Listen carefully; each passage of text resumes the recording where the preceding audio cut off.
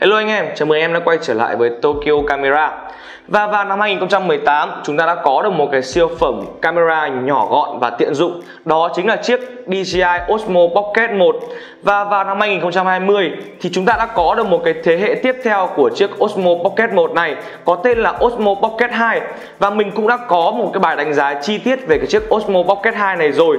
Nếu anh em chưa xem thì mình có thể để link cho anh em ở phía bên trên nhé và trong video ngày hôm nay thì mình sẽ gửi đến anh em một cái bài so sánh hai cái chiếc Osmo Pocket 1 và Osmo Pocket 2 để anh em có cái nhìn tổng quan nhất về hai chiếc camera này nhé.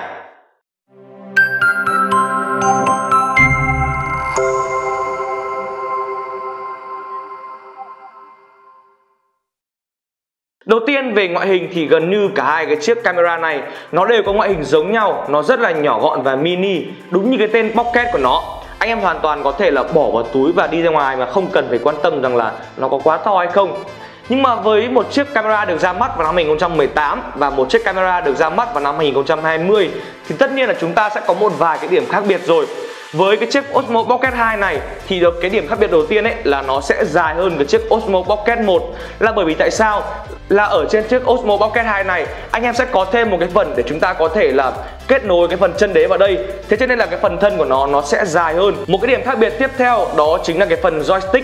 Nếu như mà ở trên chiếc Osmo Pocket 1 này, chúng ta không có bộ joystick, thì ở trên chiếc Osmo Pocket 2 chúng ta đã có được một cái phần di chuyển này, hay mình gọi là cái phần joystick, nó rất là tiện dụng và với cái phần joystick này thì anh em hoàn toàn có thể là điều chỉnh cái chế độ cách dễ dàng hơn này. Chúng ta có thể zoom này, chúng ta có thể là quay cái trục xoay này, nó rất là đơn giản luôn. Và với cái phần này thì anh em hoàn toàn có thể là lắp cho cả chiếc Osmo Pocket 1 nữa. Nó rất là tiện dụng.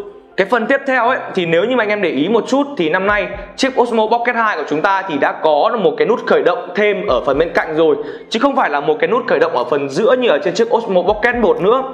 Và cho anh em nào để ý một chút đấy thì năm nay chiếc Osmo Pocket 2 của chúng ta nó đã có một cái khẩu độ lớn hơn này, có một cảm biến lớn hơn. Thế cho nên là cái camera nó cũng sẽ lớn hơn. Và để ý kỹ một chút thì sẽ có một cái phần thay đổi ở đây, đó là phần viền ngoài của camera với cái chiếc Osmo Pocket 2 thì các bạn sẽ có một cái viền đỏ nó bao quanh phần camera như này thì đây cũng là một cái điểm để các bạn có thể là nhận biết chiếc Osmo Pocket 1 và Osmo Pocket 2 và tiếp theo đó nữa thì mình sẽ đến với các bạn đến cái phần là phần khởi động của hai cái chiếc camera này thì bây giờ mình sẽ khởi động cả hai chiếc cho anh em xem nhé. Đây là chiếc Osmo Pocket 1 này. Đó. Và đây là chiếc Osmo Pocket 2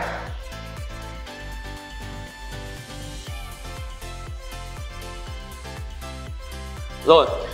Và sau khi mà khởi động cho hai chiếc camera này cho anh em xem ấy, Thì anh em có thể thấy rằng là cái thao tác khởi động ở trên chiếc Osmo Pocket 1 nó sẽ dườm già hơn rất nhiều so với chiếc Osmo Pocket 2 bởi vì tại sao?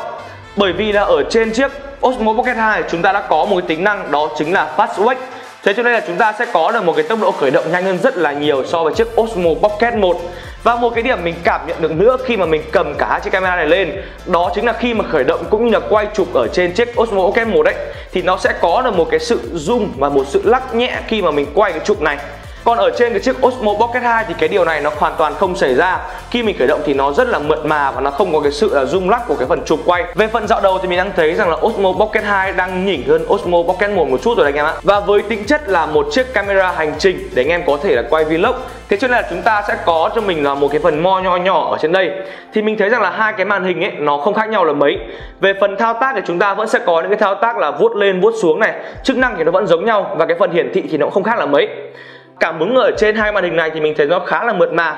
Thì đây cũng là một cái điểm cộng khá lớn dành cho chiếc Osmo Pocket 1 khi mà đã ra mắt 2 năm, nhưng mà cái phần công nghệ thì không thua kém là mấy. Và tiếp theo đó thì mình sẽ chia sẻ cho anh em về cái phần là chất lượng hình ảnh, thì đây cũng là phần mà nhiều anh em quan tâm nhất.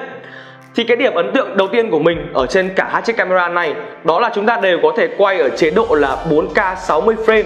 Đây là một cái chế độ mà cho hình ảnh rất là tốt thì đây là một cái điểm cộng rất lớn dành cho chiếc Osmo Pocket 1 này.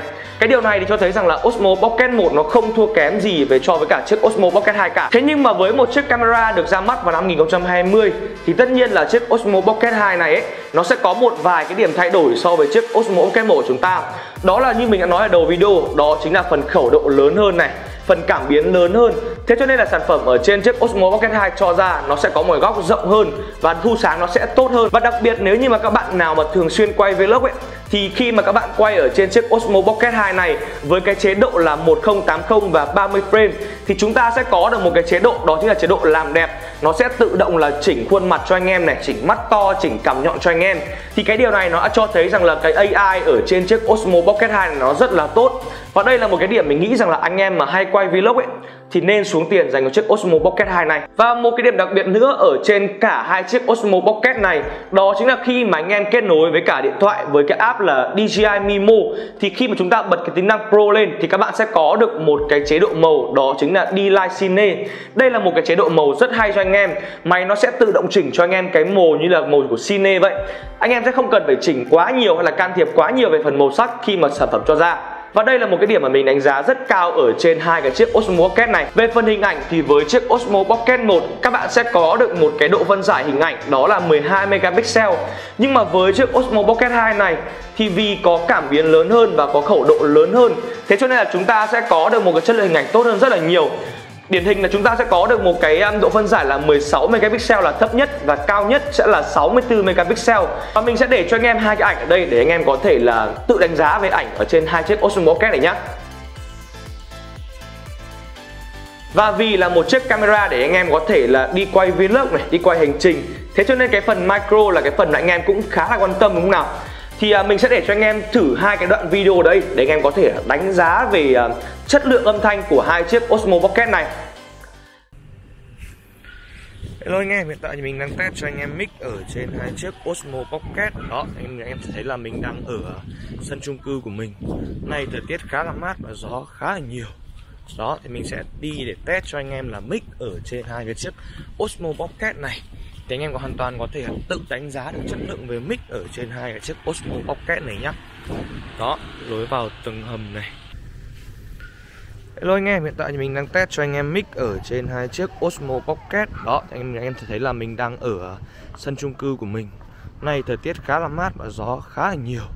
Đó, thì mình sẽ đi để test cho anh em là mic ở trên hai cái chiếc Osmo Pocket này thì anh em có hoàn toàn có thể tự đánh giá được chất lượng về mic ở trên hai cái chiếc Osmo Pocket này nhá đó lối vào từng hầm này thì sau khi mà anh em vừa mới xem xong và nghe qua về cái chất lượng thu âm ở trên hai chiếc Osmo Pocket này thì với cá nhân mình nhá, với một chiếc Osmo Pocket 1 thì chúng ta sẽ có một cái âm nó lớn hơn. Thế nhưng mà cái âm của nó nó sẽ hơi bị tối và đục một chút. Thế nhưng mà khi các bạn thử nghe cái âm ở trên chiếc Osmo Pocket 2 này ấy thì bởi vì là nó có được nâng cấp về mic này chúng ta có nhiều mic hơn chúng ta có một công nghệ là thu âm đa hướng. Thế cho nên là ở trên chiếc Osmo Pocket 2 này cái chất lượng âm thanh nó sẽ ra tốt hơn này nó sẽ trong hơn. Thế nhưng mà nó lại bé hơn một chút.